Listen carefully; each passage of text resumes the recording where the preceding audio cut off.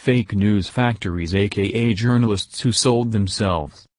We live in a world where we allow ourselves to be influenced by the press, which some call great power. And the impact of the press today is truly the most fatal possible, because it basically falsifies and distorts everything.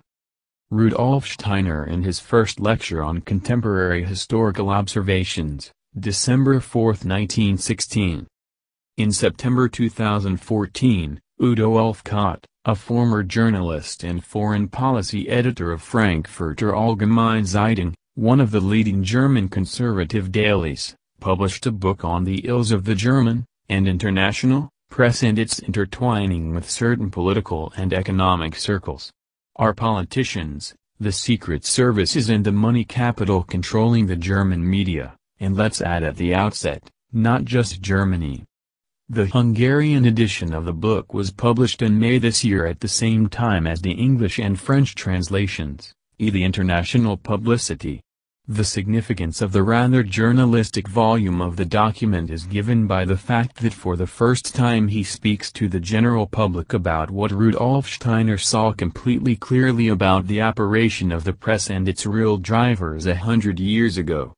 Purchased journalists can thus serve as an example or collection of texts for Rudolf Steiner's prophetic statements about how the press works, even where journalism was from today's media mechanisms, the mind-altering techniques of the tabloid press, television, and the Internet.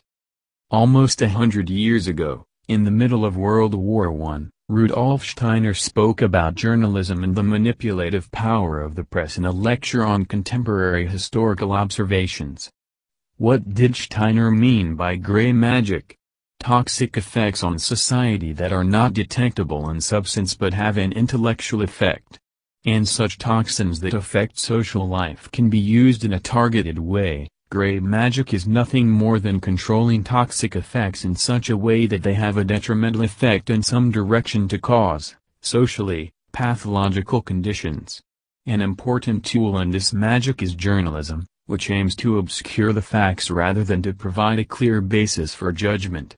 In this context, Rudolf Steiner spoke in his lecture of January 15, 1917 on the magical power of modern journalism, which can make people believe everything. The magical means of certain companies is to use the power of journalism for their own purposes. To achieve journalism, the press, is an important means of carrying out the mass suggestion. 1. However, for these effects to be felt, they need people who are particularly suited to it. Rudolf Steiner said of this on December 17, 1916, it is a matter of, these circles, always finding a way to get the right people to the right places. 2. And Rudolf Steiner here is an analogy, uses a number metaphor to illustrate this mechanism of action, the occultists behind it are often merely some, and have no special significance in themselves. To achieve the desired effect, they need something else next to them, they need zeros. Zeros are not ones, but if we write a zero after each, it will become a 10 right away. And if we add more zeros, although all zeros are only zero, but if there are some of them, we get even more quantities, hundreds, thousands, and so on. And if we cover the one, there are apparently only zeros there. However, Zeros only need to be properly linked to ones, and zeros don't really even need to know how to combine them with ones. 3.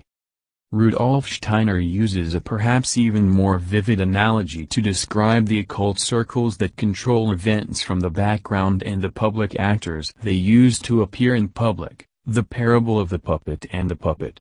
Rudolf Steiner also speaks in detail about the real movers of the threads, the occult circles that control the background, in contemporary historical observations, but he cites two examples of the puppet figures they use, politicians and journalists. They are the puppets, the zeros that some use to achieve their own goals and selfish group interests. End of the reading.